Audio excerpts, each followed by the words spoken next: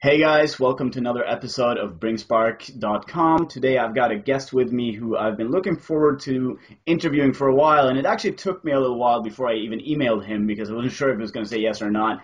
Uh, I've seen a lot of his stuff before, and I also saw him on the podcast of one of our guests, which is Jordan Harbinger, who you've probably seen an interview with before. And after listening to that interview, I just went, all right, it's time. I got to get this guy on here. So I emailed him, and I was really happy that he could be here and that he said yes. Jack Donovan is the author of The Way of Men, which is an incredibly popular book. Most of my friends have read it, at least.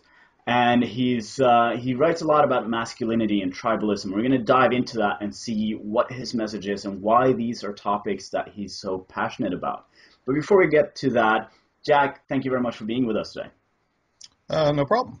All right. So before we get to the stuff that you teach and the stuff that you do, why don't you tell us a little bit about yourself? Like, what's your your origin story, if you will? um, well, I'm uh, originally from Pennsylvania.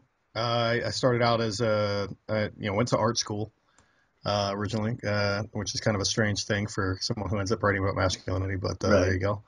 And uh, you know, I, I spent a lot of time in New York City and San Francisco and Los Angeles and uh, you know, you know, I was kind of a you know one of those people. And obviously, I went to art school. Uh, I kind of came from a liberal uh, uh, mental background. Uh, not, I wouldn't say my parents were that way. Uh, they're just nice, normal, uh, rule-following people.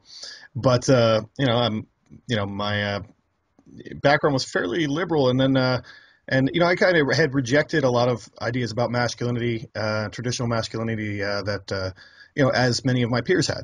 Uh, we're kind of taught that it's bad and uh, that it's outdated. That's the I, you know I always love it when they make masculinity about fashion. Right. Uh, but uh, they always say that it's outdated.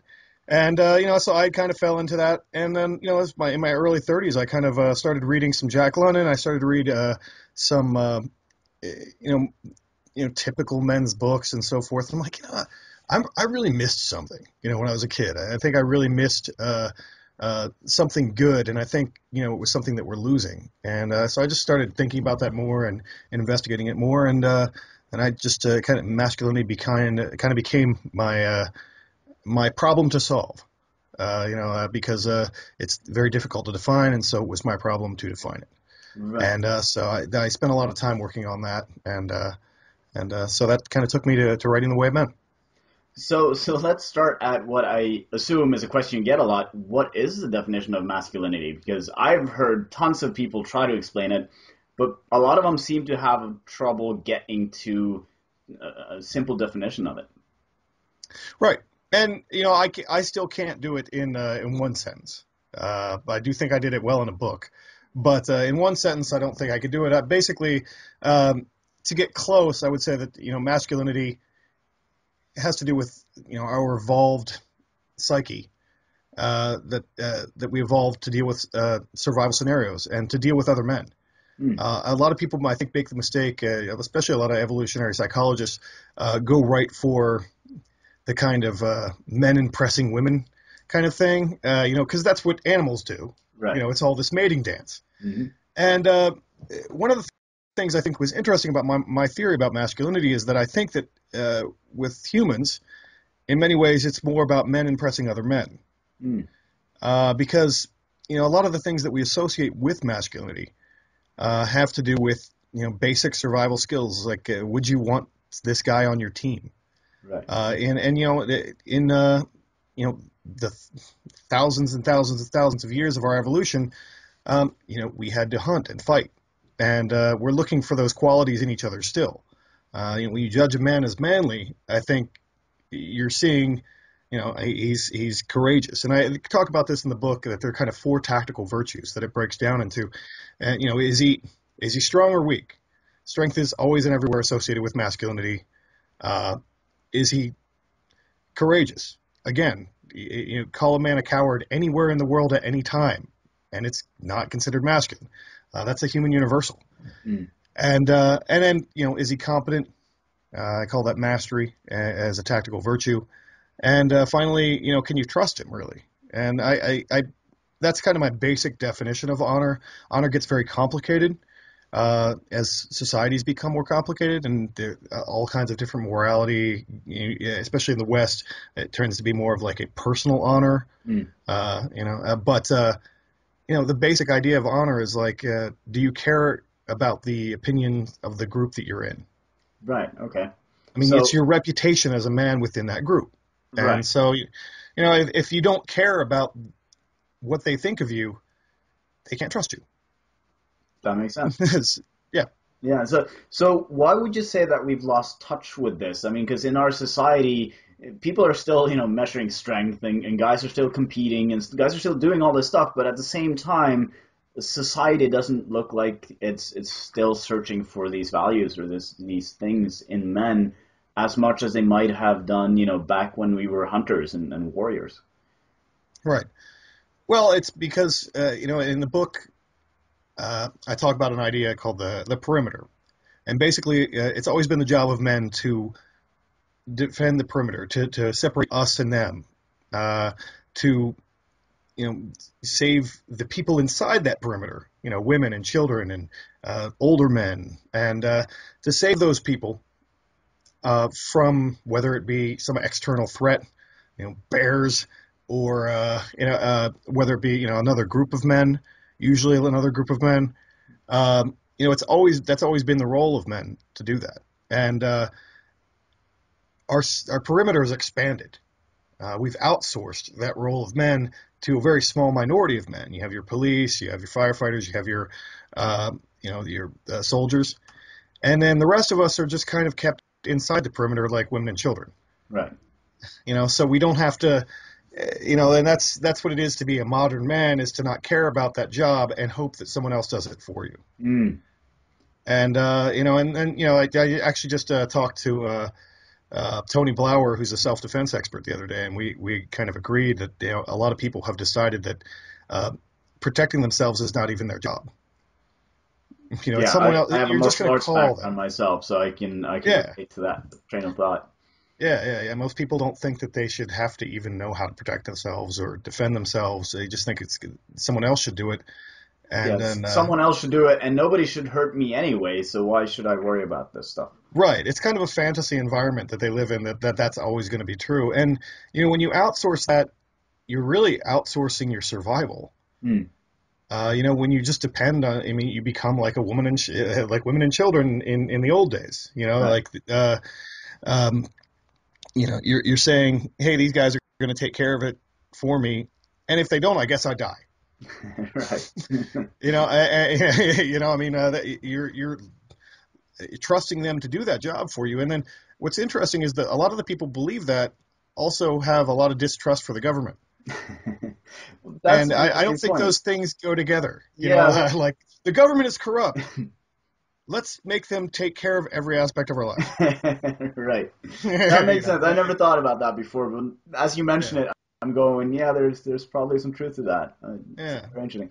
So, why is it important for men in our society to get back to this and, and to get more of this type of masculinity in their lives? Um, I think we want it.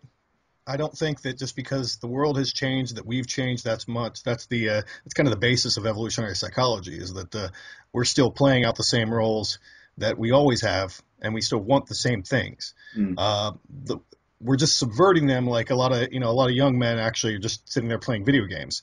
Uh, in the video games, they are fighters and soldiers and hunters Right. and doing the exact same thing that they've always wanted to do, um, but they're just doing it in this kind of you know, in small doses it's fine, but uh, you know, if it, it, a lot of them that, that becomes their whole life, and they in real life they're just weak and sad, but in video games they're really awesome. And Right. uh, you know, I, I don't think that's really a you know, it kind of builds a kind of false ego. I think.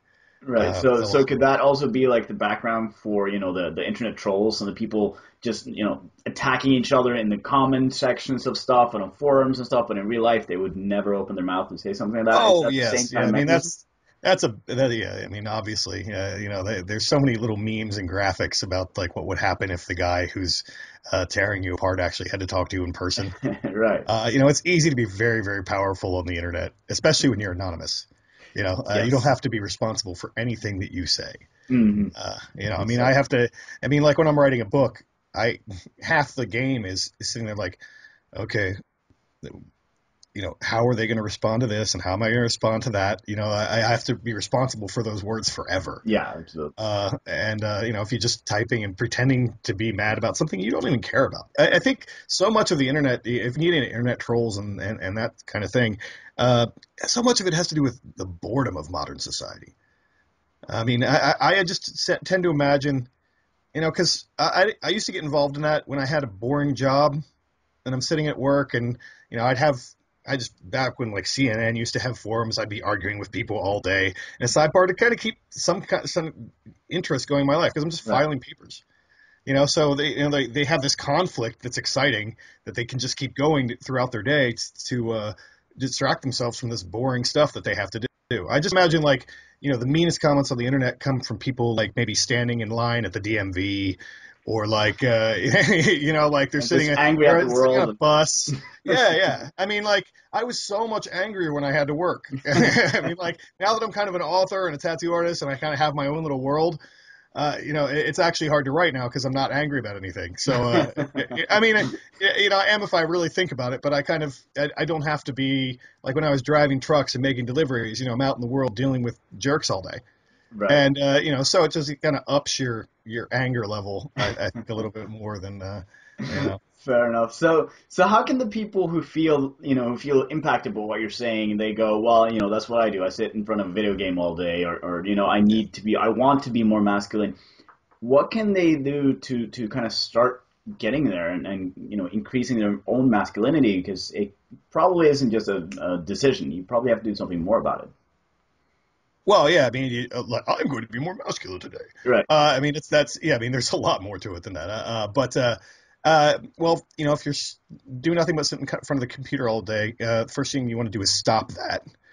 Uh, and then you know, you, the perfect example of like, okay, you're the guy who plays video games that uh, you're you're this awesome fighter every day. How about you go out and learn some of those skills in real life, and actually interact with other men. And I think that that's the key to anything. A, a lot of these guys, uh, and you know, I, I hate that it always ends up demonizing video games. It's just easy, uh, just because it's it's it's vicarious form of masculinity, uh, and you know, it's all simulated. But uh, you know, it's like porn, really. It's like porn for men. Eh, well, porn is for men, but uh, uh, you know, it's like it's like uh, uh, fighting porn. Right. And uh, you know, you know, the best thing is to go out and actually learn how to do those things in real life. And and uh, instead of being the imaginary tough guy, maybe you could actually learn how to be that guy in real life. Uh, and that takes a lot of work, and it, it involves you dealing with men and being in uncomfortable situations because you know men can be really difficult to deal with.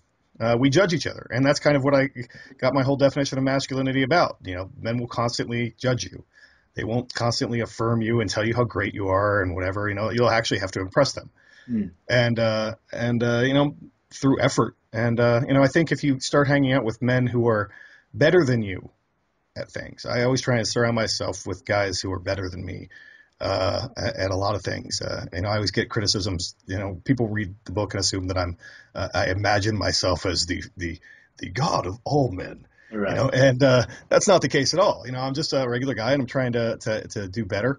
And so I associate with men who are better than me at certain things, Mm. and uh, I, that's what you have to do. And you know, you don't get to be the top dog like you are at home playing video games or writing mean comments on the internet. right. You get to be not the top dog for a while. Uh, Yeah. You know, and, So what That's how you about the the judgment part? Because I know a lot of people, a lot of the the people that I meet uh, as a coach and uh, you know doing my workshops are people Mm-hmm. who are worried about being judged. They're scared of that, and they you know putting themselves in conver- in in situations where they might feel judged by others or they might feel uncomfortable.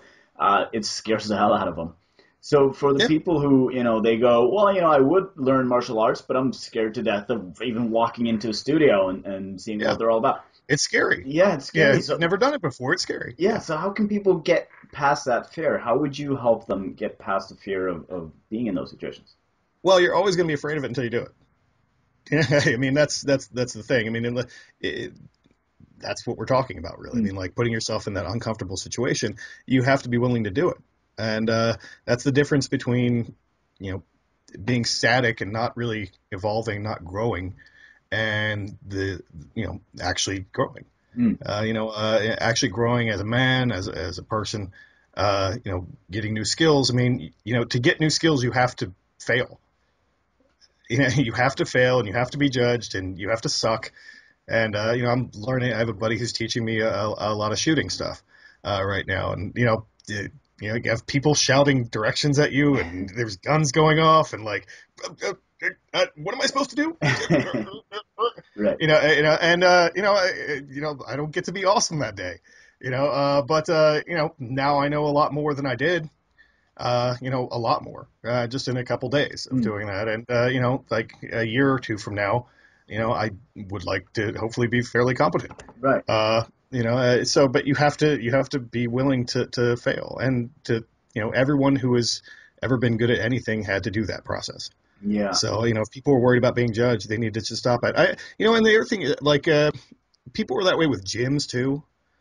Um, and you know, I guess there are jerks who see someone who's out of shape or weak in a gym, and are like, hoo hoo hoo, you know. Uh, but I don't know personally, when I see someone, you know, especially like big fat people, like if you're in a gym, well, that's where you're supposed to be. Yeah, You know, exactly. you're working on fixing the problem Mm. rather than you know I'd rather you know if they, they were in a gym than sitting home eating Cheetos. You know, uh, I mean, so I mean, I think a lot of people, you know, mature people, Mm. uh, you know, people actually worth caring about anyway, uh, look at you know someone who's trying to improve themselves and saying they're, they're five steps ahead of everybody who's sitting at home. Yeah, absolutely. You know, and that's how I look at it. So Yeah, because because you know, correct me if I'm wrong. I don't think I am, but there's nothing unmasculine about not being good at what you're doing, as long as you're doing Right. it to learn. yeah, if you're doing it to learn, I mean, I mean, like you're talking about, we're talking about courage. Uh, putting yourself in that uh, uncomfortable situation is courage, Mm. and you know, it's the guy who's afraid to even try that you know is having less courage. Right. You know, so. Because a lot of the people that I talk to, once they, you know, once they start talking about being a man, it seems that a lot of people have the idea of being a man. That means that you have to be in control of every situation you're in. You have to know what you're doing all the time. You have to look like, you know, an expert or look like a leader. But you also have to be willing to put yourself in situations where you're not, in order to Yeah. gain the the skills or whatever that Yeah. you need. I mean, you want to be. I think you know maybe it's a better way than to, to say that you have to be an expert. It might be better to say um, you have to take it seriously.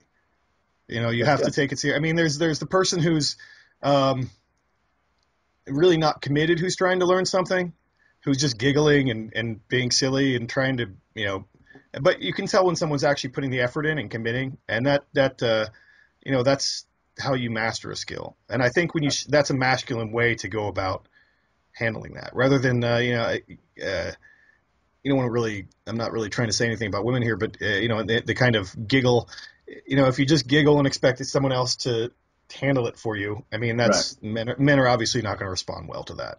Mm. So if you just take it seriously and uh, do the best you can and not be a jerk, uh, uh, I think that uh, that's what you need need to do to learn anything.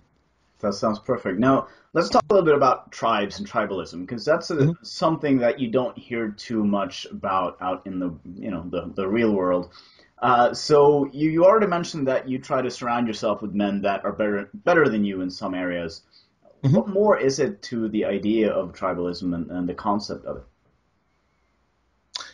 Well, I mean, an actual tribe. I mean, it, it's about identity, uh, really. Uh, you know, uh, I, I would say that if if you use the word "we" but you don't know who your "we" is, you don't have one. Um, I mean, uh, you know, who is your group of people that you can defend depend on? I mean, I think that's what you're really trying to create with a tribe. Again, you know, we're used to big systems where, oh, well, the state cares for us.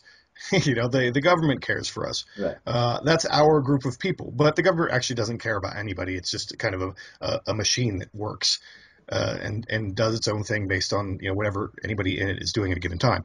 But uh, you know, you know, humans you know are, are wired for these personal relationships, and a lot of people, modern people, don't have really strong personal relationships.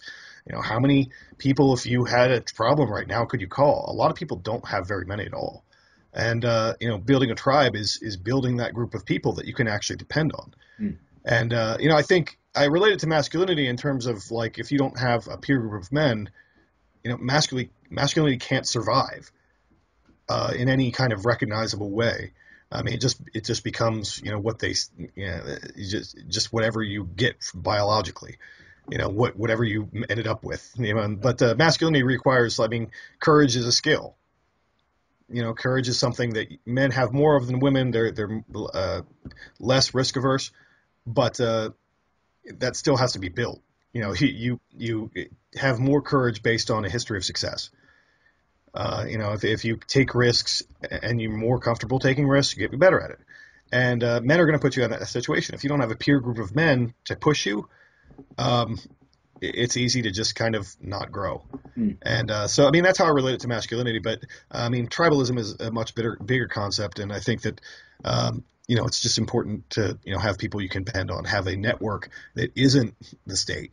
Mm. Uh, you know, have have a you know real close relationships with people rather than you know we have a world where you know we have friends and they're like our Facebook friends or like these people that we really you know couldn't depend on from any for anything barely know. I mean we made this you know and a lot of times we invest in these relationships uh, with people all across the world who we may never ever meet. Yeah. it's almost like you're talking to a, a virtual person you know, I mean, uh, and we all do it. I mean, I have people who I've been communicating with for years all around the world, sure. and a lot of them I actually have met, and then they become kind of real people. But uh, you know, I think what's most important is to build that relationship with these people around you, mm. and uh, and I mean, personally, I think when you really get into tribe, there's you know people who have like really close friends, which is one thing, and then uh, tribe, I think, you know, it has to be mutually acknowledged that this is a group, and uh, that's hard uh, I mean, mine, I, I, just joined a tribe actually uh, in the past year, and you know, I'm oathed into it for life. So, you know, and you know, there all kinds of things could happen, things could change or whatever. But uh, you know, to those people, I have a commitment, right? And that's established. So I know who my we is, you know, and uh, that's that's I think what a, a tribe really is when you, you know you really understand who us is and who you know everybody else is them. Mm. So uh, you know, for, for, all the people who are sitting watching this, because I'm I'm sure there are a few that are watching this and going, you know what, I don't have that. I don't have this kind of group around me. I have you know these friends that I might you know watch football with, and these friends that I might you know play game computer games with. But they're just kind of people I hang out with. There's no there's no you know we don't have that type of backup, that type of commitment to each other. Right. Where can these people start? What should they do? I mean, it might be an obvious question, but what should they do to start creating these tribes around them?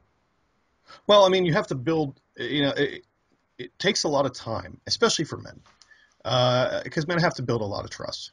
I think to to go from like a guy who I'll have a drink with occasionally to someone who would bury a body for me. There, there's a lot of trust that has to be built yeah. into that, and uh, that comes from FaceTime. Uh, and that that's really hard in the modern world because we're all busy.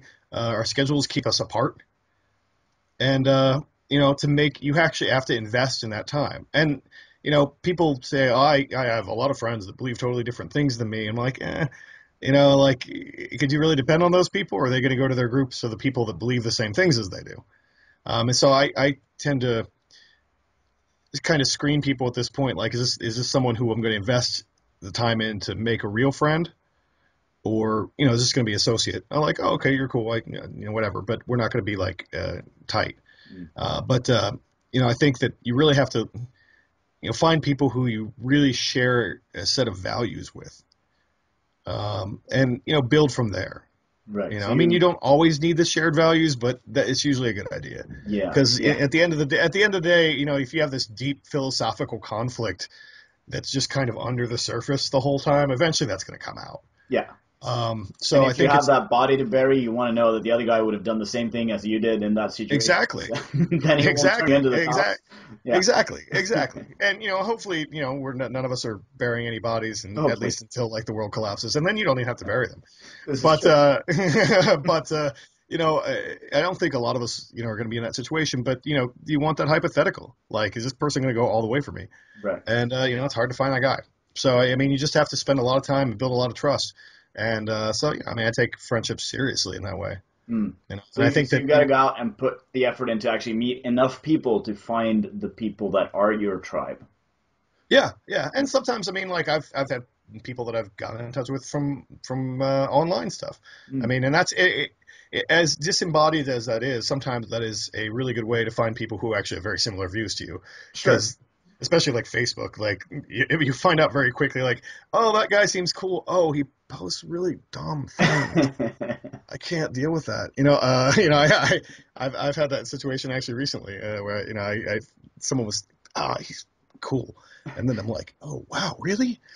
yeah, people's And, online uh, lives can can give away a lot of information about them. It's, uh, it's Yeah, yeah, yeah, and that's that is useful information. You know, Absolutely. whereas, you know, it's like if you have people that you've been basically on the same page with for years, who live within 50 miles of you, they may be the people who you want to hang out with. Yeah, You know, Mm. uh, I mean, I think uh, you know, but a lot of times too, you know, you know, you might, it might be even someone, you know, if you go to take like a martial art or something like that, you know, that that might be a way to to, to find that person, um, you know, shooting stuff or, or whatever, or um, you know, I a lot of us, you know, are just going to be put into situations with people at work.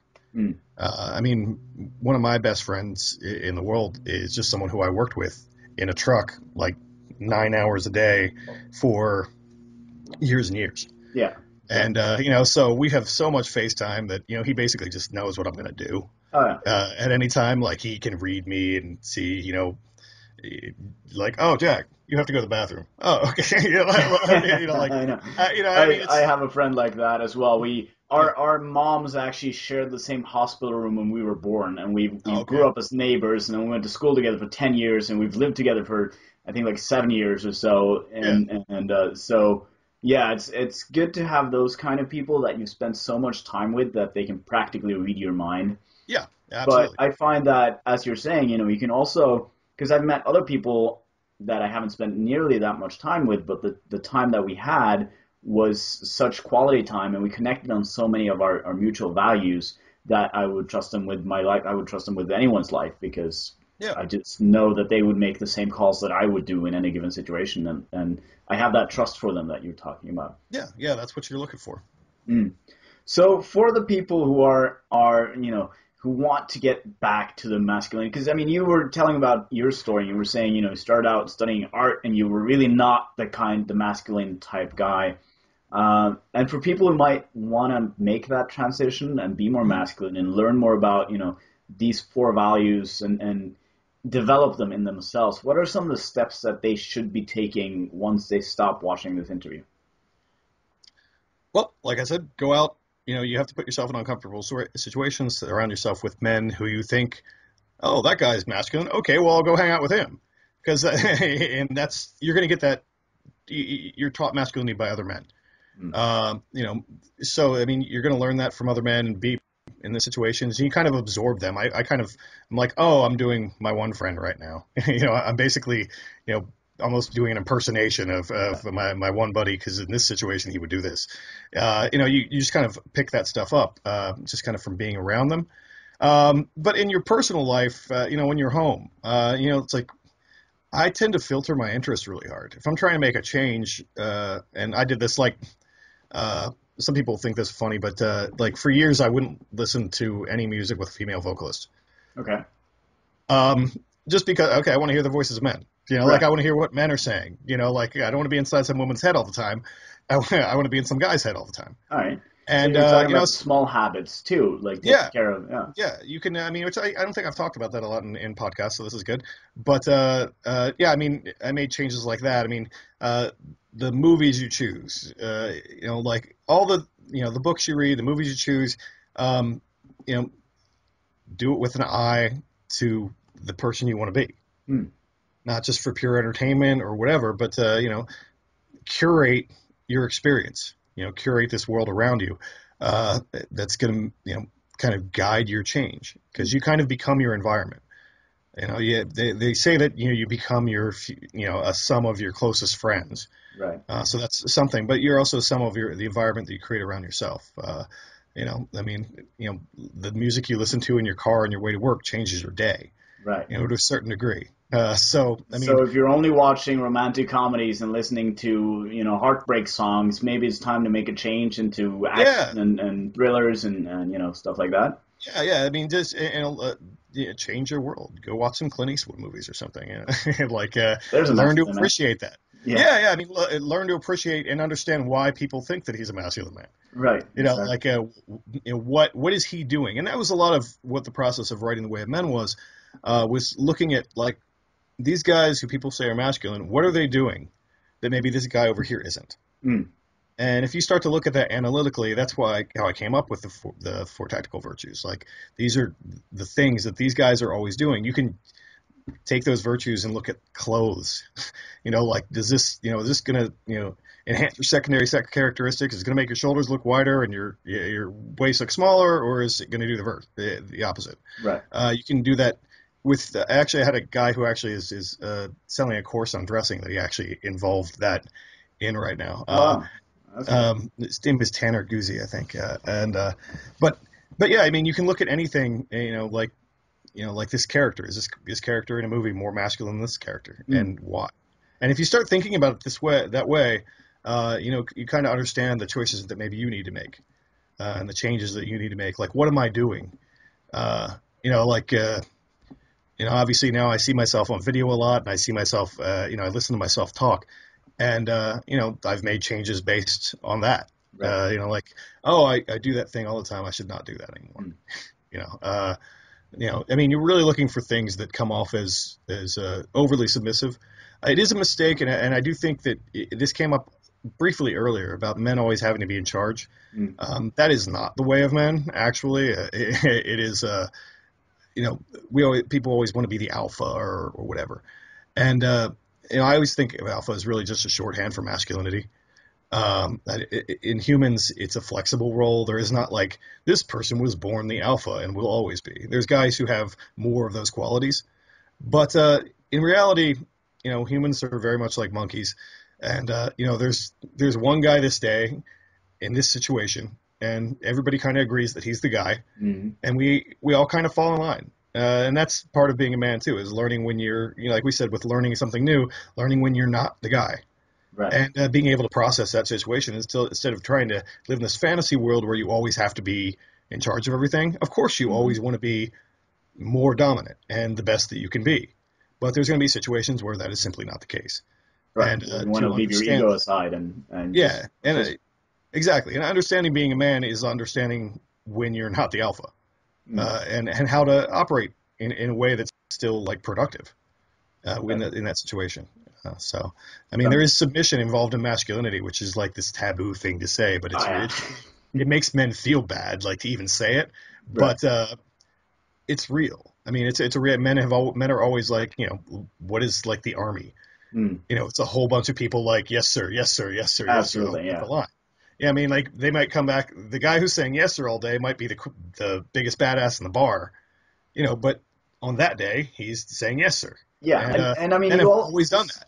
Yeah, and you see that. I mean, I'm, I'm sure you've noticed this, but the the guys who really know what they're doing, you, you know, martial artists or, or military pe- people, whatever, the people who are really sa- safe, uh, sorry, safe and secure in themselves and know that they have the skills to handle any situation, they're not Mhm. the guys, you know, making a, a you know a mess in the bar. They're the guys sitting back and, and just not even bothering to getting get involved in any drama or, or whatever because they don't they know that they don't have to. It's not you know necessary. Yeah, I have a buddy at uh, Tom Kyer who's a he's a uh, he teaches a lot of knife work and, and, and stuff like that. And uh, you know, when he talked to me the first time. He lives in a far more dangerous part of the country than I do. Uh, so he's like, I don't even go to bars Right. because I'm older and I'm a little heavier. And so if someone messes with me, I'm gonna have to kill them, and then I'll have to deal with that because I can't. I can't. I'm not gonna get in a slugfest with a a, a, a football player. right. So you know, I'm uh, I'm just gonna have to hurt him really bad, really fast, and he knows how to do that, and he's confident about that. So he just doesn't want to be in that bad situation. Absolutely. Yeah, he's just gonna relax and do his own thing. Yeah, because uh, I think yeah. that's one of the, the biggest misunderstandings that I run into when people talk about being masculine is, is what you're talking about right now. It's the whole they think that it means that you always have to be the alpha, you always have to be bigger and badder and, and you know more in command than everyone else, and they they don't realize that sometimes it's much more you know masculine to actually sit back and just go, all right, I'm not going to get involved in this, or or you know you go handle this because this is your area, this is not this is not what when I'm Yeah. supposed to step up and be in charge. And that's also that's a little also a little maturity too. You know, in Yeah. terms of like uh, men. I mean, like, um, uh, you know, I mean, there's that funny, there's that funny joke about the young cat, the young bull and the old bull. I don't know if you've ever heard of that. I don't think Uh, I've heard that one. Okay. Um, I mean, it's it goes across the board, but uh, you know, so they, there's this uh, old bull and a young bull, and they're standing up on the hill. And uh, you know how young guys can be like terriers, and they have a lot, a lot of energy, and they're ah. And uh, so you know the young bull says to the old bull, "Hey, hey, hey, hey, hey, let's let's let's go down the hill and and and and, and fuck one of those cows." And uh, the old bull says, "No, we're gonna walk down the hill and fuck all of those cows." and uh, you know, it's like this patience uh, of Right. understanding which situation needs to happen, and it's the same. Uh, you know, it, it, it's like that Bane quote, like "You fight like a younger man with nothing held back." right. You know, it, it's it's uh, you know, uh, an older man kind of understands like when to wait, right. and uh, and uh, a little bit of timing, and a little, and not just so you know spazzy uh, as, as young guys tend to be, but uh, yeah, so it's a little bit of maturity too. That makes perfect sense, and that sounds like a good place to start wrapping up too. Now, you've you shared some great advice on where people should start, and I guess the next step would be to go get your book, which uh, you know you're selling them at, through your website. Is there anywhere else they can go? To Um, it- yeah, I mean, it, uh, basically they go through Amazon.com. Amazon. Uh, that's that's that's the best play. I mean, any major book chain, I think you can get them from. It depends, you know, where you are in the world. I mean, it's actually been translated into French and Portuguese, there you go. and it's coming out in German. Uh, you know, sometime in 2016. Perfect. But uh, but uh, you know, you can get it anywhere in the world. I mean, I have guys who've read it all around the world. It's just a matter of you know whatever store you get it from. I don't ship them from my website unless I'm doing like signed copies or something like that.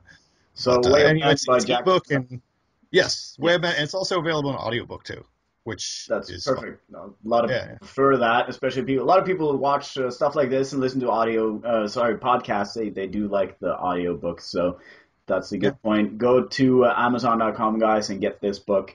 Uh, also, check out Jack's website. We're gonna have the link under this video, so you can go check it out. Is there anything else you want to leave them with before we uh, wrap this up? Oh no, I, I think we I think we covered everything they need to do. Perfect. Well, in that case, thank you very much for your time. I had fun, and I'm sure our viewers will as well. And hopefully, at some point in the future, we'll find some excuse to get you back on here and, uh, and do some more talking. All right, sounds good, man. All right. Thank you very much. All right, all right, thanks.